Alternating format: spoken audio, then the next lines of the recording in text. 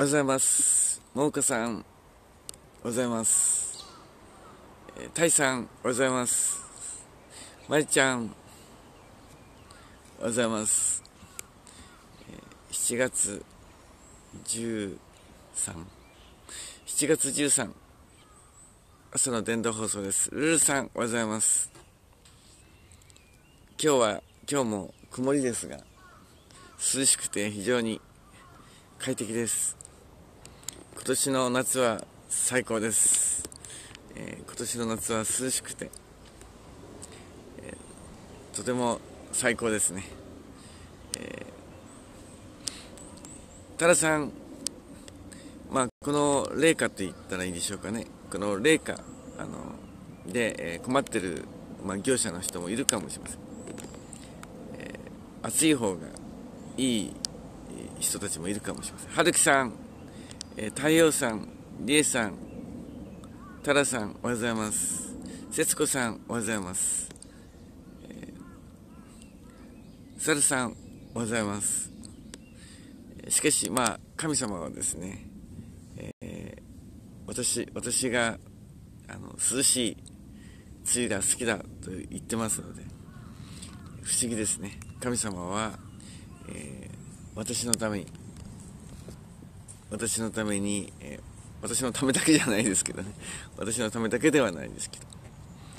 私のためにも私のためにも涼しい夏を与えてくれています。奈々さんおはようございます。納豆さんおはようございます、えーそういうわけで、えー非常に、えー涼しい夏。涼しい夏です、えーまああと1週間ぐらい1週間ぐらい続きそうな感じですね。1週間ぐらい続きます。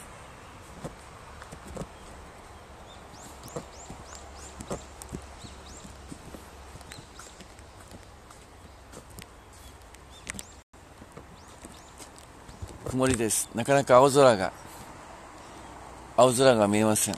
でも、えーしばらく青空は見てないんですけど。しかしかえって逆にですね、えー今度は青空を見た時に、えー感激するのではないかなと思います。春樹さん天国ポイントで聖書買いました。素晴らしい、えー天国ポイントで聖書買いました。アンディビさんおはようございます。ゆうさんおはようございます。ポンさん入院中。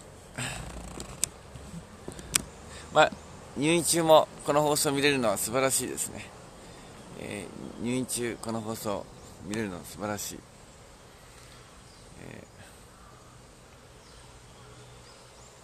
今日のタイトルはですね、えー昨日とちょっと似てます、えー花さんおはようございます。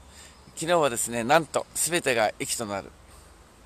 という私たちクリスチャンに対してですね全てが神様は益としてくださる、えー、全てのこと全てのことが働いて全てのことが共に働いて益となるとあります、えーそれは本当にすごいことだと思います。あやぽんさんおはようございます、えーそういうわけで私たちは何も心配することないのです、ええこういう証があります。こういう証、えある方がですね、えバスに乗ろうとしたんですけど、まあ、乗り遅れてしまったんですね。ああバス乗り遅れた、えー困った。間に合わない、えー、あリュウさんおはようございます。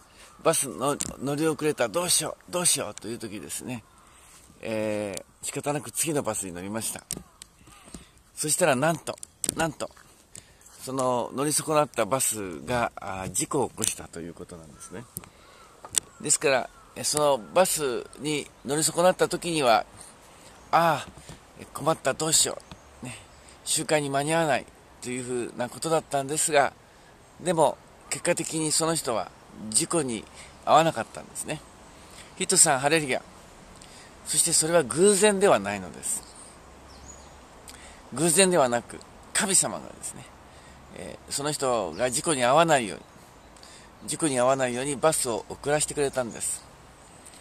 多くの人は偶然だと言うかもしれません。でも私たちは偶然は一つもない。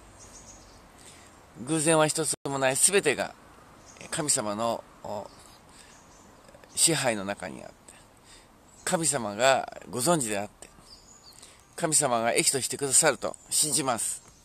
そういうわけで、えー、もしバスに皆さんがもしですね電車やバスに乗り遅れるとかそういうことがあっても動揺しないでください、ね。えー、全てに全てが益となる。全てが益となると信じましょう。ですから私たちは、えー、いつも喜んでいいのです。いつも喜んでいいのです。私たちは神様がおられるのですから。神様は全てを益と変えることができる方。全てを災いを災いを服と変えることができる。災いを服と変えることができる神様だということですね。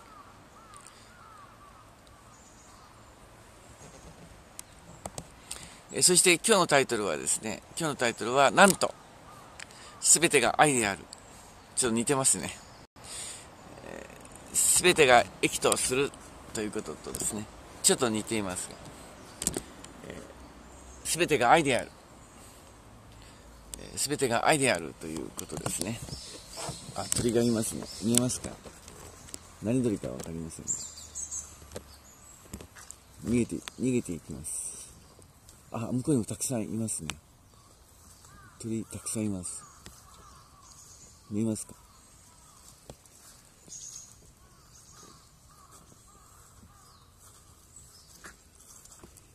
わあ鳥がたくさんいます。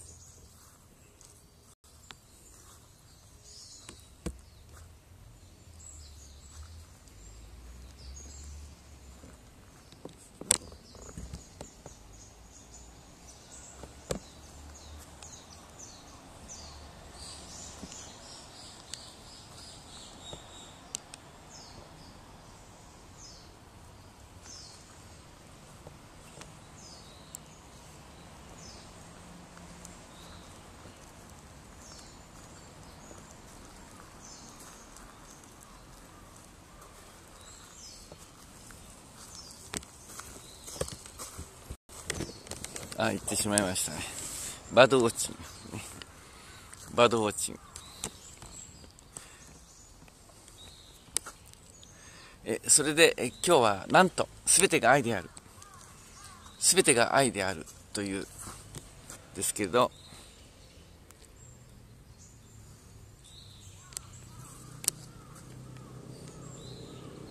京都にはスズメ焼きというのがあります私もですね昔スズメの料理を食べたことがありますね、えー、スズメの料理を食べたことがあります。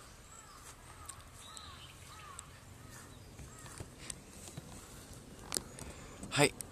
えっと、えー、聖書の中にですね、えー、神様は愛する子を懲らしめる。愛する子を懲らしめるという御言葉があります。まあ、今、体罰はですね、体罰は法律で禁じ禁じられてしまいました。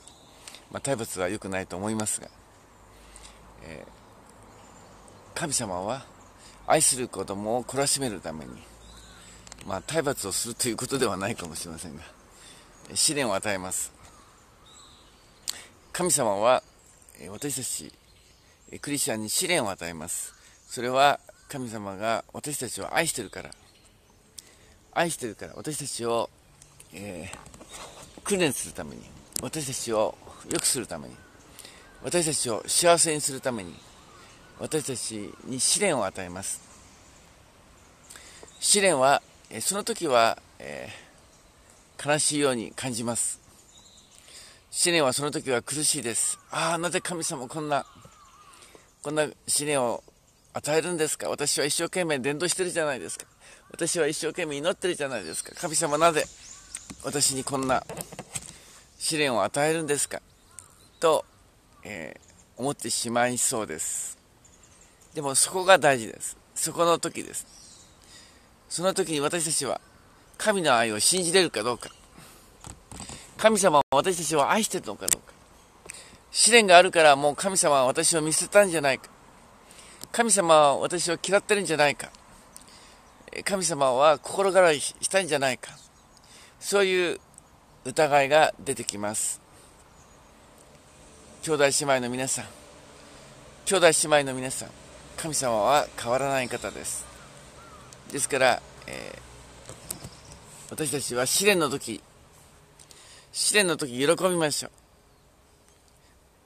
神様は愛で愛で私たちを、えー、鍛えるために試練を与えるんであって決していじめてるいじめるため私たちをいじめるために試練を与えているのではないのです。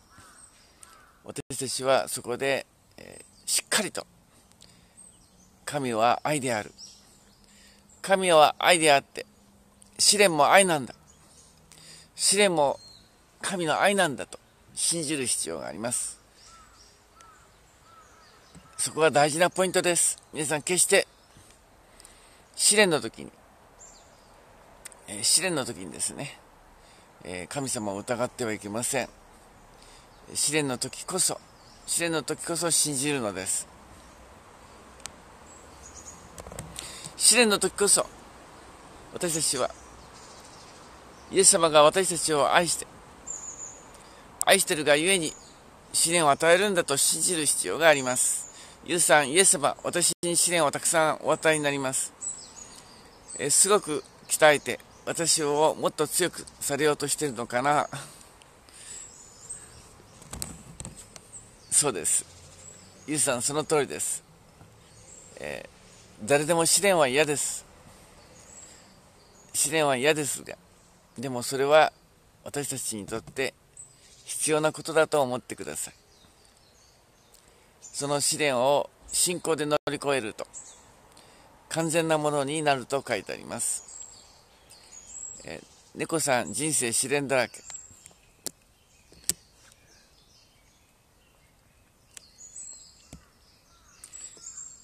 私たちは信仰で試練を乗り越えると、えー、私たちは本当に成長します。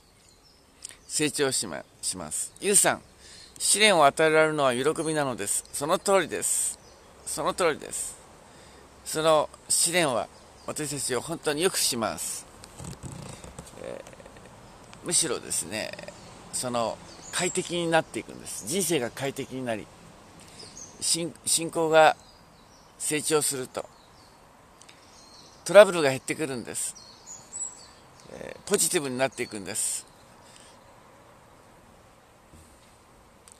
ネガティブならば人生は楽しくありません。試練によって私たちは砕かれて試練によって精錬され試練によって成長するならば私たちは快適な人生もっともっとポジティブになります。もっともっとポジティブになります。ですから皆さんなんと全てが愛だ。私たちは愛の神様の中で生かされ神の愛が神の愛がいつも変わらずに私たちを愛してくれてることを信じてあ全てが愛なんだ。神様のされることは全てが愛なんだ、えー、それを信じましょう。ゆうさん証拠に母と私の関係がだんだん目に見えて良くなっていることです。素晴らしいですね、えー、ゆうさんがねお母さんを許してくださり、えー、そこに神の愛が働いてきました。ゆうびさん私にはなぜ神は愛をくださらない？そんなことないです。そんなことない。ゆうびさん、えー、信じればいいのです。イエス様がゆうびさんを愛している、えー愛してくださっていると信じればいいのです。信じないと。信じないと愛が伝わりません。信じる必要があります。モークさん試練を信仰で乗り越えるということはやはり霊的に成長するのですね。試練を与えた人にも許すと。霊的に完全なものになれるということでしょうか。その通りですね。その通りです。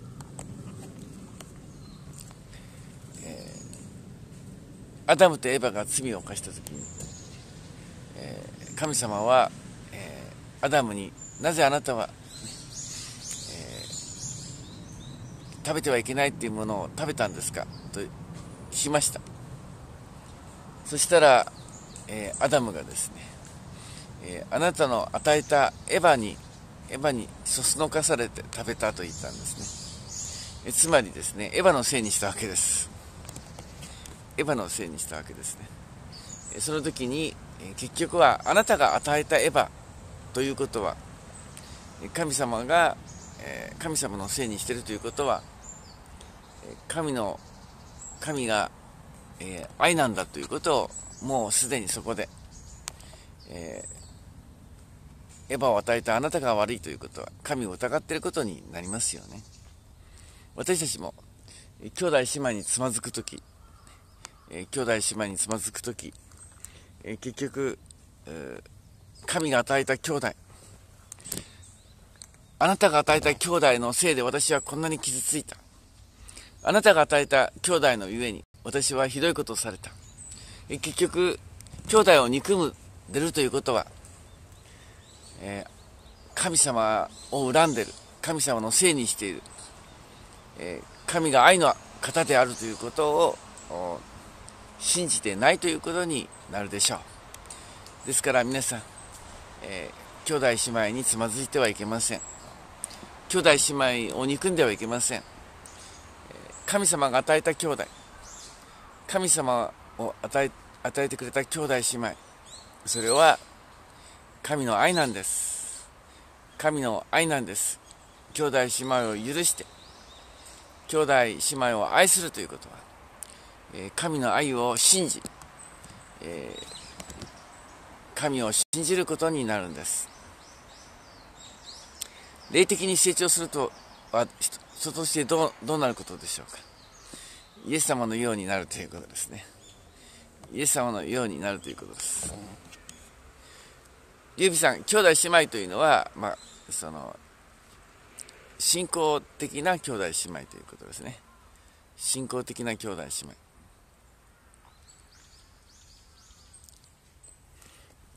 多くの若い人は、親の、親がひどいことをして、え親が自分のことを愛してないということで飛行に走ります。もう自分を愛されてない。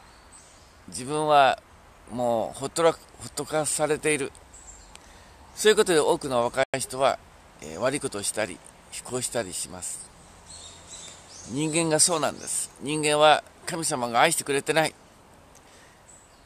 神は、えー、自分のことを嫌っている愛してくれてないそういうことで人間は罪を犯し神に反抗するのではないでしょうか、えー、ですからえ神様は皆さんを愛してるよ。あなたを愛してるよ。イエス様はあなたを愛してるよということを伝える必要があります。多くの人は、え神が愛してることを知らずに、神が嫌ってるとか、不公平なことしてるとか、神はひどい神だと、えー、サタンに騙されて、サタンに騙されて、えー、神を恨んでいます。母親にお前を薬で殺せばよかったと言われた。リビさん、お母さんを許してください。お母さんは、えー、クリスチャンじゃないので、えー、リビさんを愛さなかったかもしれません。えー、ぜひお母さんを許し、お母さんはそうだったかもしれない。しかし、イエス様は違うんだ。イエス様は、リビさんを愛し、リビさんのためにも死んでくれたんだ。えー、親には失望したかもしれない。でも、えー、イエス様に失望してはいけません。トモさん、こんな俺を愛してくれてありがとう。そうです。こんな俺を愛してくれてありがとう。そうなんです。そうなんです。私たちは。神の愛を知る必要があるんです。神の愛がわからないから、神の愛がわからないから多くの人は苦しんでいるんです。とびっこさん、愛の伝道放送。ハレリア。はるきさん、神の愛はどんな時にどのように感じるのでしょう？いい質問ですね。いいいい質問です。えー、十字架は春樹さんのためだと信じる信じた時にああ私のためにイエス様は死んでくれたと信じる時に感じます。信じないと感じません。信じないと感じません。イエス様が皆さんのために皆さんを救うために皆さんの罪を許すために死んでくれたと信じる時に信じる時に神の愛を感じます。神の愛を感じます、えー、ぜひ皆さん、えー、神の愛を感じるために神の愛を感じるために、えー、自分のための十字架と信じましょう。自分のために必要だった。自分のためにイエス様が死ぬ必要があったと信じるんです。信じるんです。そうすると皆さん神の愛を感じるようになります。ヒットさん神の愛は海より深く天より高い。アメン。アメン。これあの、えー、アメンです。アメン。ヒットさんは信じました。ね。ヒットさんもそれを信じました。神の愛を信じたんです。素晴らしい。信じると神の愛が分かります。信じると神の愛を受けます。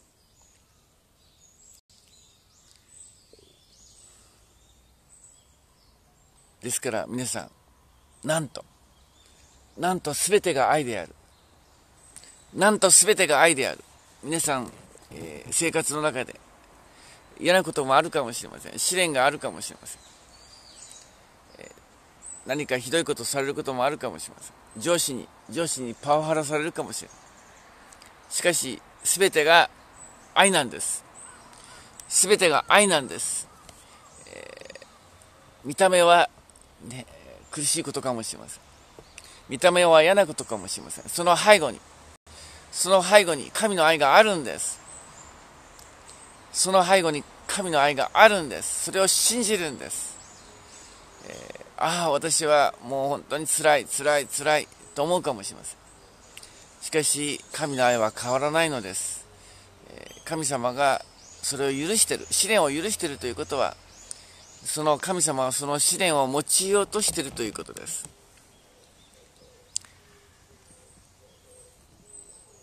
ですから皆さん試練を喜びましょう。試練を喜んでそのひどいことをしてる人を許して許して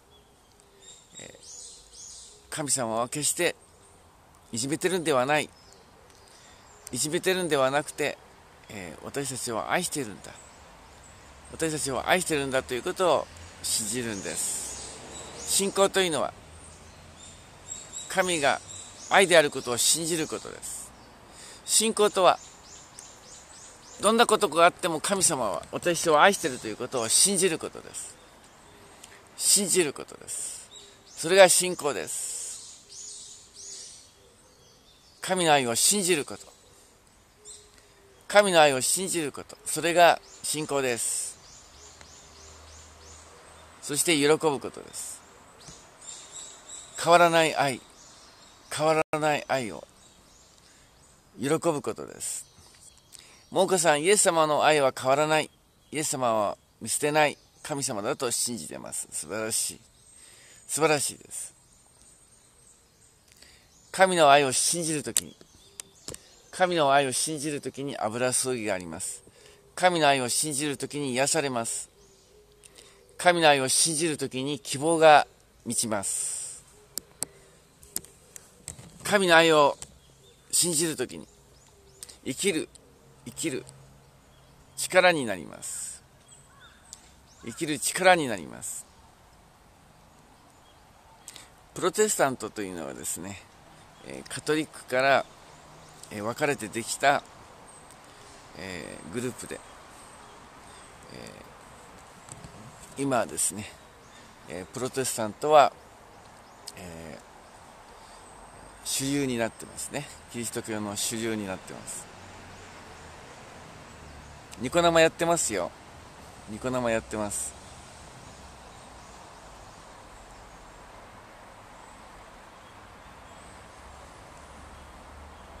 なぜ差別はなくならないんですか、えー、差別イコール罪ですね、えー、多くの人はまだイエス様を信じてないのでこの世は罪の世界です。罪の世界ということは差別の世界ということです。ですから一人一人が一人一人がイエス様を信じないと差別がなくならないのです。ですから差別をなくすためにも伝道する必要があるんです。いくら差別反対差別反対と言ったからといって差別がなくなるのではありません。差別は心の問題ですから。伝道してこそ。伝道してこそ差別がなくなるんです。多くの人は、えー、差別反対差別反対と言いながら自分で差別をしています。つまり罪がある以上は差別があるんですね。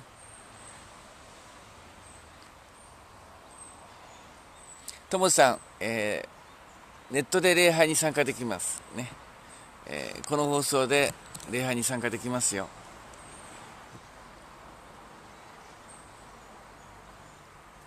猫さん、えー、プロテスタントとカトリックに分かれるって差別じゃなんじゃ。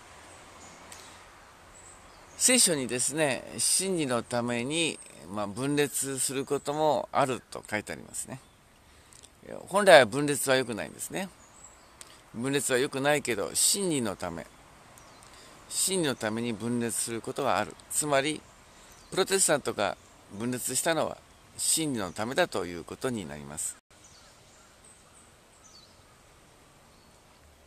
えー、春樹さん、えー、韓国に対する差別は、えー、差別ですね。それは差別です。えー、人間の罪は、えー、韓国、中国に対する差別。韓国、中国に対する差別。それが日本の罪です。日本の罪です。もちろん韓国、中国にも罪があります。えー、韓国、中国にも罪がありますが、日本の罪は、日本の罪は、えー、韓国、中国を差別することそれが日本の罪です猫さん、えー、一見そうですけど一見そうですけど、えー、正しい教えになるために正しい教えになるために分裂もあるんですね。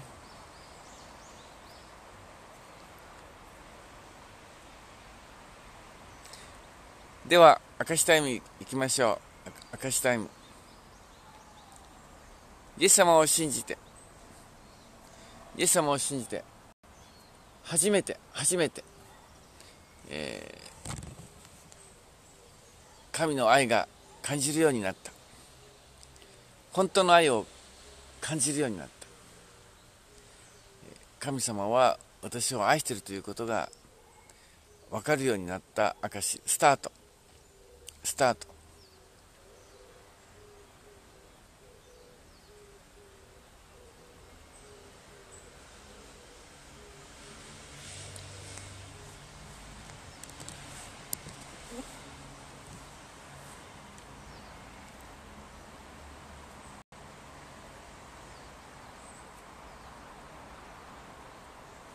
もさん、何でしょうか、えー、ごめんなさい。ももさんの質問は？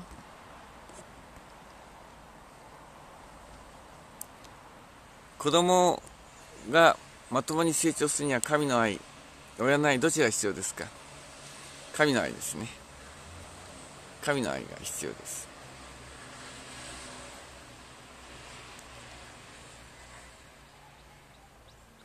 ルーさん、泣きながらお願いしたら、飼っているインコが生き返りました。元気になりました。素晴らしい。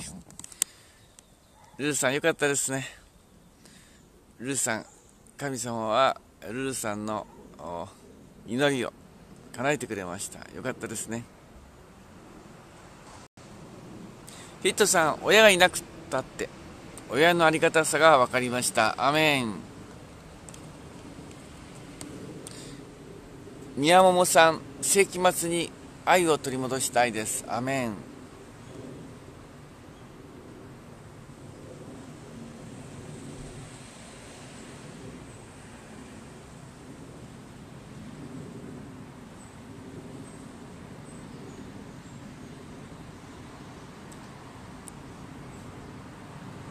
はい、万作さん、ありがとうございます。ゆうさん、イエス様は私に試練を与えてたくさん成長できるようにしてくださいました。イエス様の大きな愛を感じます。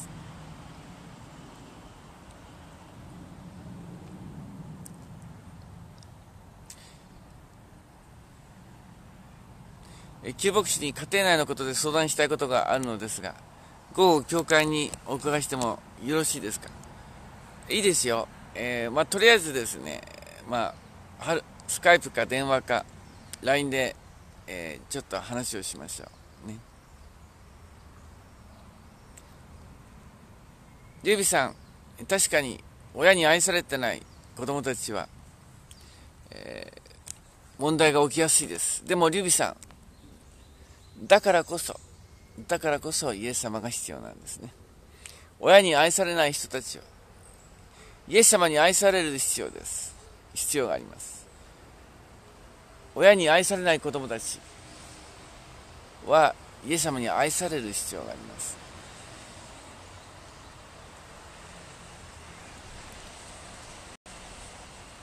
小さん、そ大丈夫です。そんな小さなのためにイエス様は死んでくれたんです私たちはみんな、えー、ダメな人間ですでもそのダメな私たちのためにイエス様は救いに来てくれたんですだからイエス様を受け入れてくださいそうすれば私たちは癒されます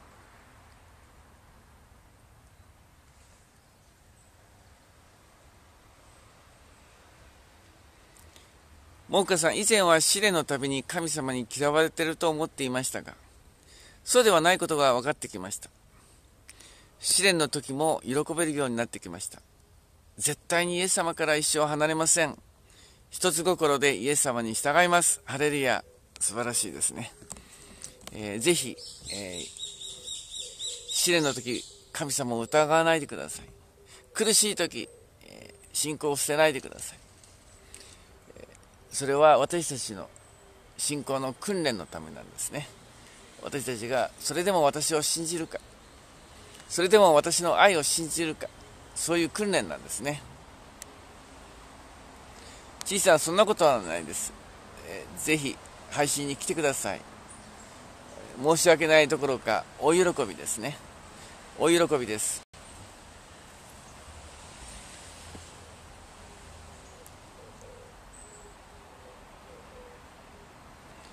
憎しみが生まれたらどうしますか？許しましょう。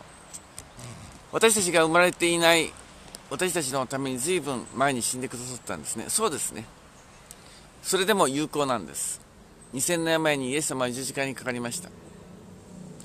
それでもその十字架の効力は今ももちろん有効なんです。ルーさん今考えると朝3時に目が覚めていたのはお祈りをしなさいということだったのかもしれません。その通りです。その通りです。アメン。ピンチはチャンスです。アメン。神様、試練をありがとう。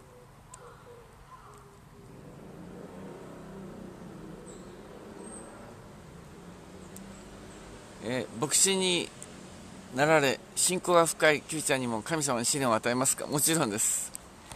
もちろん与えます。でも、皆さん、えー、試練を喜びましょう。そして最適の試練と信じましょう私たちは神様は意地悪意地悪するための試練ではなく私たちを愛してるからの試練です。だから試練を疑ってはいけません。この試練は私にとって必要な試練だったんだ。この試練には意味があるんだ。この試練は最善なんだと信じる必要があります。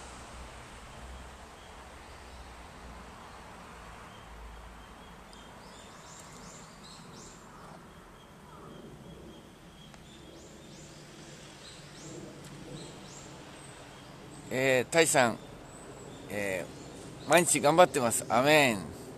ちーさん、私も頑張ります。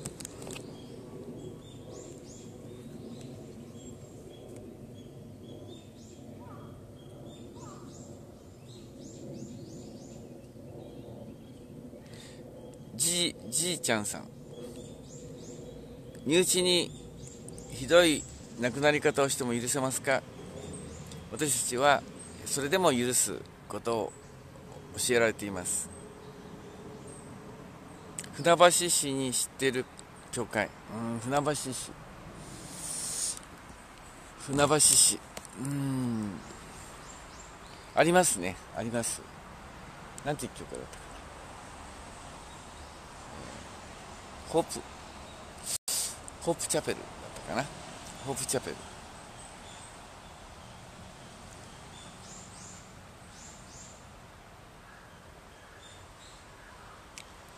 信仰心。神様は厳しくも優しいお方なのですね。そうなんです。神様は、えー、基本は優しい方です。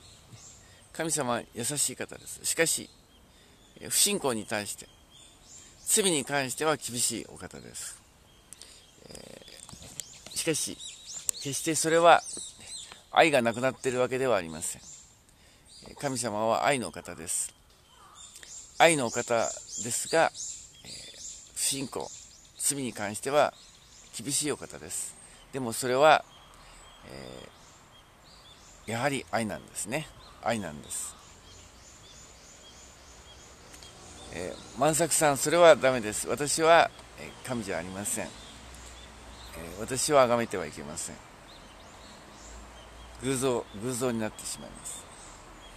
それではファイナルメッセージ、皆さんぜひ大事なポイントは全てが私たちの全てが神の愛に包まれている。神の恵みの中にいるんだ。神の愛の中にいるんだと信じることです。イエス様が遠く離れているのではなく私たちのそばにイエス様がおられ私たちは神の愛の中に生きているんだ。全てがなんと全てが愛である。なんと全てが愛であるということを信じましょう。愛の中にいるんだ。私たちはイエス様の愛の中にいるんだ。神様は人々の心の中にあるんですか？それとも手にあるのですか？両方です。両方です。歩きさん私たちはイエス様を心の中に歓迎するべきです。いつも私たちはイエス様の愛の中イエス様の愛の中にいることが大事なんです。イエス様の愛の中にいることが大事なんですね。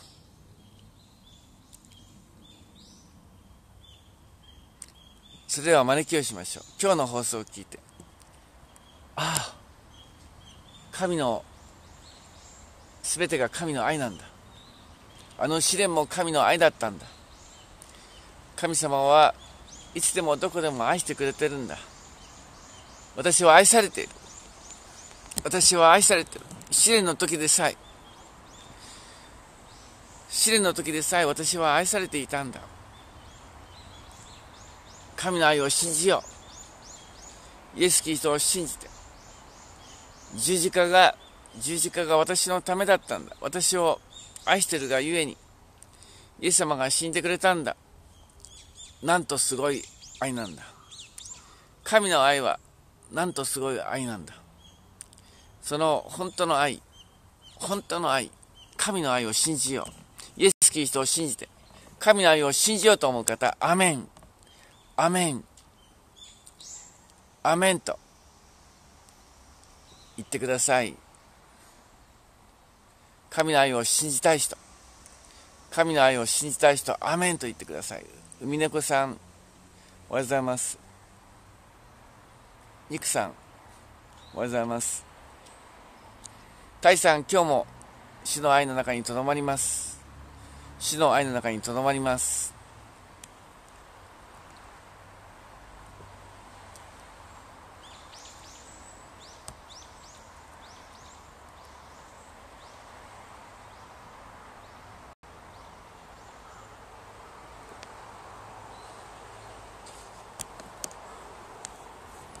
天のお父様、感謝します。私たちは以前は神の愛を知らずに、神を無意識的に恨み、神に不平を負い、えー、私たちを、私たちを苦しめる者に対して、えー、恨んでました。憎んでました。イエス様ごめんなさい。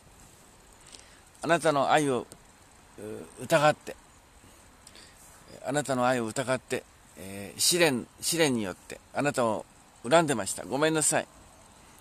その試練が愛だ愛であることが分かりました。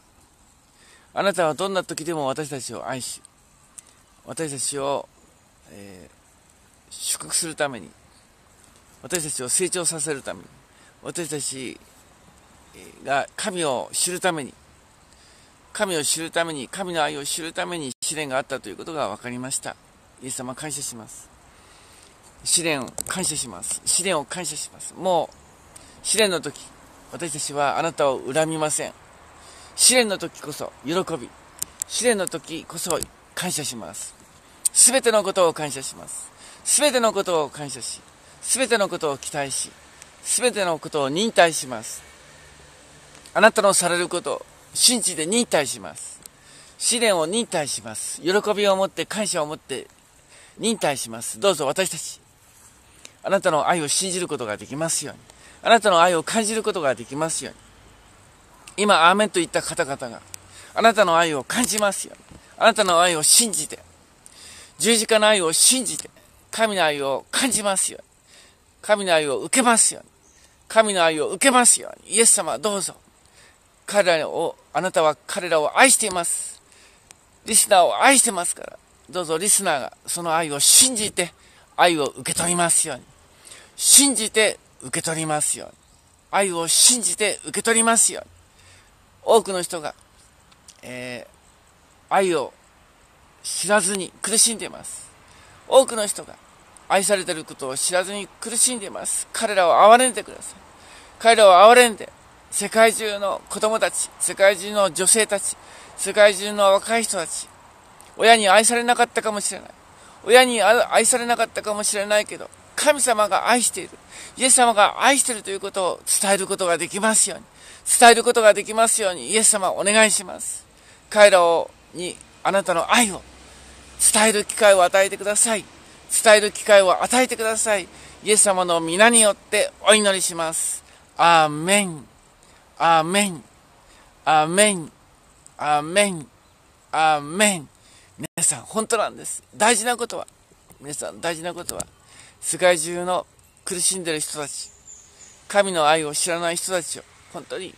私たちが。神様の代わりに愛してあげて。私たちが。イエス様の代わりに愛を示して。多くの人たちが。神の愛を知ること。神の愛を知ること。それが大事なんです。それが大事なんです。皆さん。そういう働きをしませんか？それが本当の仕事です。本当の仕事は何ですか？多くの人を愛することです。多くの人を愛することが本当の仕事です。それでは皆さん今日の夜はないんですが、明日の朝10時半、明日の朝10時半に礼拝がありますから、礼拝、一緒に礼拝しましょう。そして、え月曜日の夜ですね、月曜日の4時半頃ですね、マーチフォアライフを、えー、ツイキャスと、ツイキャスと、ファッチだけになっちゃうと思いますが、ツイキャスとファッチだけが、マチフォアジーザス4時半ぐらいからやります。で月曜日の7時が多分できないと思います、えー、夜月曜日の祝日海の日ですがその日はちょっと夜はまあできる可能性もありますけどまあできないと思っててください。それでは明日10時半にお会いしましょう。シャローム。良い一日を。シャローム。神の愛を感じる一日を過ごしてください。シャローム。シャローム。シャロー